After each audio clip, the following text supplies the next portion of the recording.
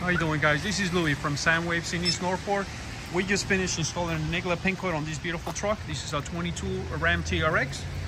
We actually end up doing a Compustar T13 as well as an IGLA pin code system. With, uh, we actually, on this particular car, we did an engine, stall, engine stall feature, which basically prevents the car from being driven. Notice as I approach the vehicle, the, the alarm disarms. But this is the nice cool thing about the way we set up these vehicles now. Uh, you'll be able to start the car like normal because IGLA will allow you to start the vehicle. The only major difference now, you cannot drive this car. If you attempt to drive this car without putting your pin code in it, IGLA will activate, trigger the system and shut the vehicle down. So we'll just demonstrate right now. We're going to attempt to drive the car without putting the pin code. Notice the car completely stolen, the engine just shut down. Uh, if we attempt to restart this vehicle, we'll show you we cannot restore it because IGLA knows you did not input your code. So now it prevents you from starting this vehicle. So doesn't matter even if you have a working key, you're not going to be able to start this car. So once you trigger the system, in theory, turn your ignition on, make sure your foot's not on the brake.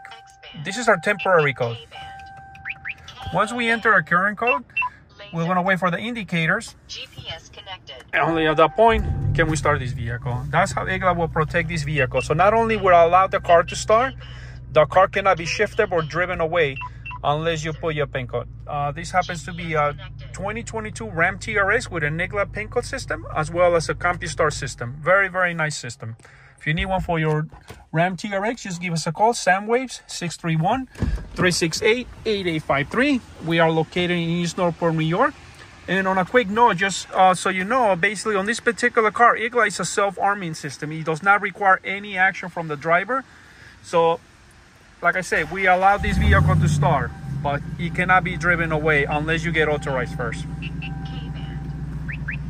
And you will see it right there, confirmations. Now we can shift and the vehicle remain running.